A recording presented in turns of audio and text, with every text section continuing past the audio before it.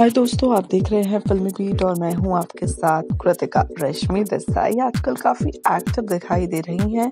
तभी तो हाल ही में उन्होंने सिडनास के नए पोस्टर भुला दूँगा, पर रिएक्शन दिया है। जी हाँ आपको याद ही होगा कि उन्होंने पहले भी शहनाज गिल और सिद्धार्थ शुक्ला के गाने भुला दूँगा का जब पहला पोस्टर आया था, तब भी रश्मि देसाई ने बड़ी बातें बोली थी और अब जब इन दोनों के गाने का तीसरा पोस्टर रिलीज़ हुआ है, तब भी रश्मि देसाई काफ़ी एक्टिव दिखाई दी है और उन्होंने झट से इस पोस्टर पर रिएक्ट किया है। रश्मि देसाई का कहना है कि अब उनसे इंतज़ार नहीं हो रहा है, वो काफ़ी एक्साइटेड है। सिडनास की जोड़ी का ये गाना देखने के लिए, क्योंकि जिस तरह से एक एक करके इस गाने के पोस्टर सामने आ रहे हैं, उनमें इन दोनों की केमिस्ट्री देखते ही बन रही है। दोनों काफ़ी करीब दिखाई दे रहे हैं और वो भी देखना चाहती हैं कि ऑन स्क्रीन शहनाज और सिद्धार्थ एक दूसरे के साथ कैसे जेलप करते नज़र आएँगे।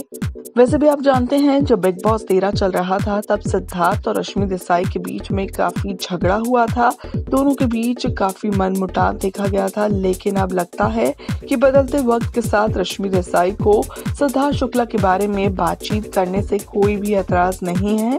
तभी तो रश्मि ने एक बार फिर से सिद्धार्थ और शहनाज के आने वाले गाने पर बयान दिया है और इन दोनों की जमकर तारीफें भी की है। कैसा लगा है आपको हमारा ये वीडियो? कमेंट में ज़रूर बताए। इस वीडियो में इतना ही, लेकिन आप हमारे चैनल को सब्सक्राइब करना ना भूलिएगा।